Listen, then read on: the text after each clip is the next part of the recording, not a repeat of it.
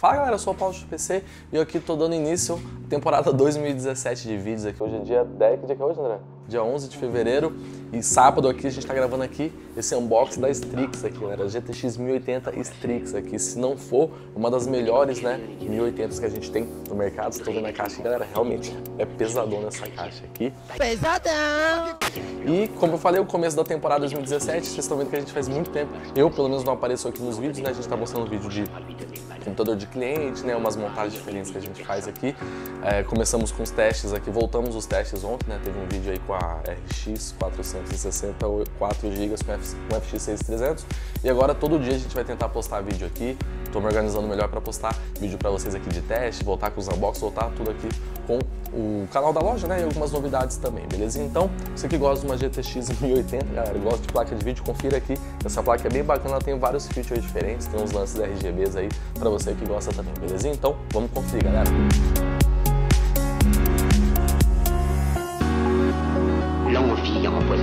Bom, galera, então agora tô aqui com a plaquinha, é, faz tempo que eu não faço unboxing da, de placa da ASUS, né? Ainda mais essa série Strix aqui.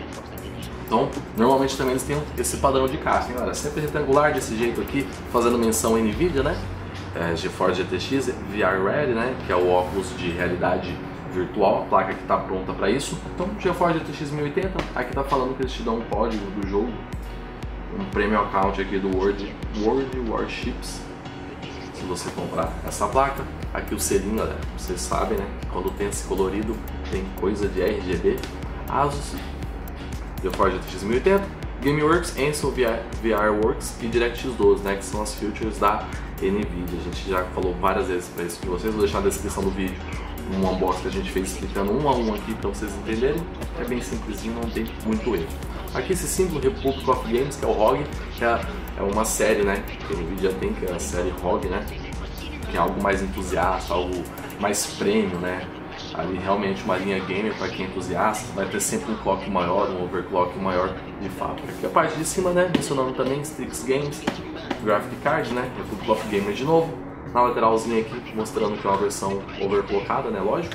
Memória 8 GB GDDR5X, viu? É a única placa da série 10 que é 5X, a 1070 não é, GDDR5 normal. Mas também é uma puta placa, não vai mudar tanto. Aqui também não tem nada demais. Aqui embaixo aqui, coisas da NVIDIA de, de da, da ASUS de garantia, número de série, blá blá blá.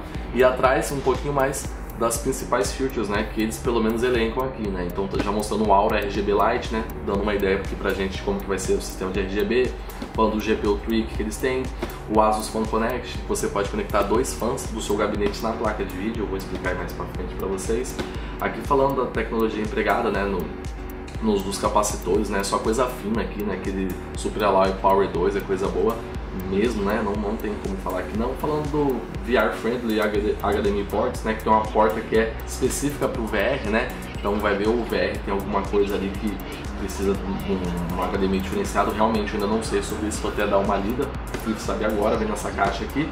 E falando aqui um pouquinho das aletas de fã.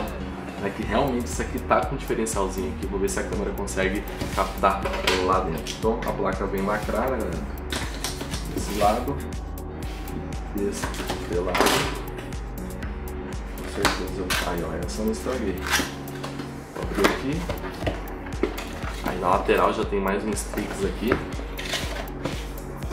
Elas não devem poupar detalhes aqui para fazer essa placa. Aí, o caixão aqui, Strix, vermelho. Ó, já vê que a parada aqui é escrita em dourado, tipo aquele coisa de ouro, ó, cheio de asas, asas, asas, asas. Aqui dentro.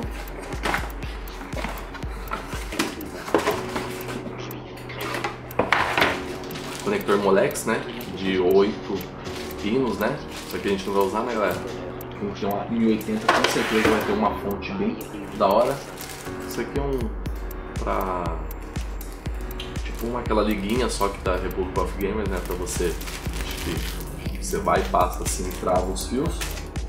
CD de instalação, né? A gente não vai usar, vamos sempre baixar os últimos drivers no site mesmo da Nvidia. E aqui um speed setup, né? Que é um, falando um pouquinho da placa aqui, que tira bastante dúvida, galera. E aqui o, o códigozinho do jogo. Eu acho que eu não mostrei, é, tá na parte de trás. Tirar esse isopor, a placa vem bem acondicionada. baixo não tem mais nada. Então só sobrando passar para vocês a plaquinha. Bem lacrada também, a placa é gigante, vocês estão vendo aqui, o tamanho da minha mão perto da placa. Nossa senhora, deixa o tamanho dessa placa. Vou tirar aqui o papel. Vou tirar aqui o adesivinho. Olha aí, galera. Esse adesivo estava protegendo esse backplate. Sem dúvida, acho que é o backplate mais real que eu já vi até agora. O modelo da PNY que a gente fez na box também é bem bacana, mas esse aqui tá matando a pau, cara. Tem detalhe, realmente tá fechando inteirinha a placa.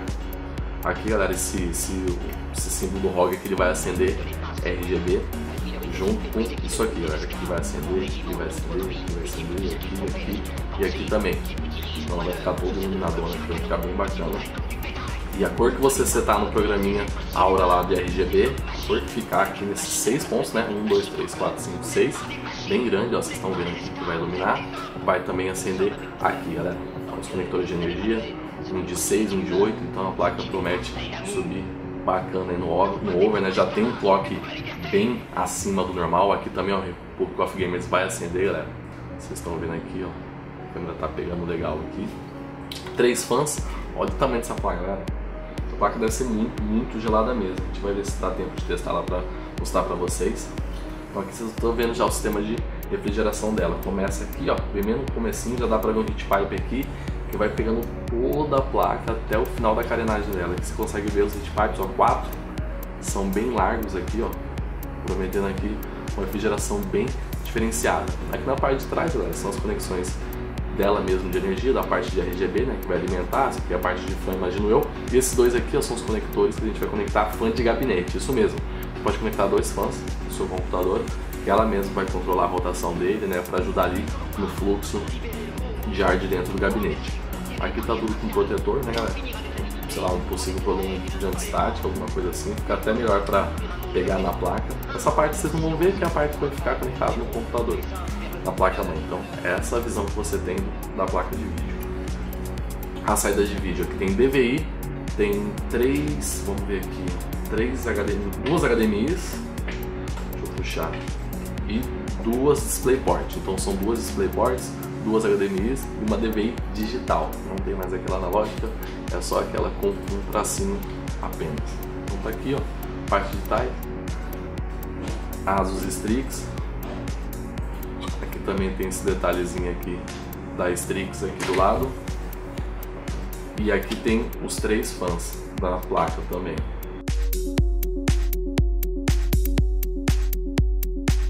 Então a Asus colocou uma tecnologia diferente, galera. Infelizmente não dá para mostrar aqui, mas tem um diferencial que no final de cada alerta, né?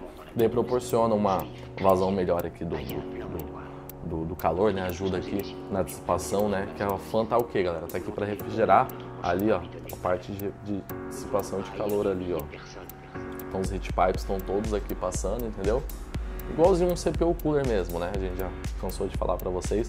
Os heat pipes dessa placa são bem grossos, galera. Bem, bem mesmo. Isso aqui chamou bastante atenção. Placa premium dessa aqui, né? Top. Com clock alto desse, né? Precisa realmente disso. Então tem um, dois, três, quatro bem aqui.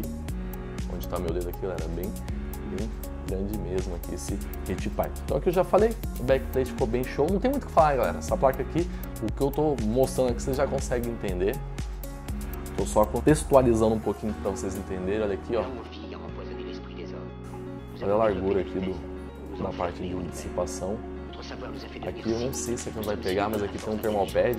Você vê que tem um outro dissipador aqui em cima ali de, de, de VRM e tudo, tá? Porra, a placa tá bem bem feitinha mesmo aqui, que essa parte aqui que a gente consegue analisar bem. Então os heat pipes fora fora, aqui os três fãs prometendo refrigeração bem bacana.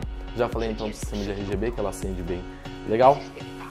Aqui na hora que for fazer o SLI, né, a gente arranca aqui as tampinhas e coloca aquela ponte nova da NVIDIA, que ocupa os dois espaços, não somente um como na série anterior. Então galera, falar um pouquinho aqui rapidinho para vocês do sistema dela de do clock, aliás, que ela vem, né? Essa placa aqui ela tem um PDP de 300 watts, ou seja, o restante da configuração, que imagina eu que você vai estar com 7, 8 a 16 GB de RAM, um gabinete com bastante fã, blá blá blá blá blá, uma fonte de 600 watts está de bom tamanho aqui para uso de uma placa, né galera? Com um SLI você vai aí partir para uma fonte de 750 watts, tranquilão. É, 256 bits, né? 2560 de CUDA Core, então você aí que vai mexer com o render tem uma, uma um pump bom por causa dessa quantidade de CUDA. E agora que vem a parte legal, o base clock dessa placa é de 1784 MHz. E no boost ali, galera, na temperatura bacana ali, um ambiente bacana, ela vai para 1936. Sem dúvida, umas que mais sobem aqui, a placa promete ser realmente um monstrinho, uma placa boa aí para você trabalhar com 2K e meio, 4K, né, galera? Dá uma, dá uma judiada do monitor aí com um placão desse aqui para Full HD só, né? dá pra, dá pra forçar mais um pouquinho que ela vai legal, certinho? Então, vou ficando por aqui, galera, só pra mostrar, eu já me estendi demais aqui, como sempre, falo mais que a boca, mas tá aqui, era pra mostrar pra vocês GTX 1080 de 8 GB aqui, modelo Strix da ASUS, beleza? Então, vou ficando por aqui e até o próximo box, galera. Valeu, tchau, tchau!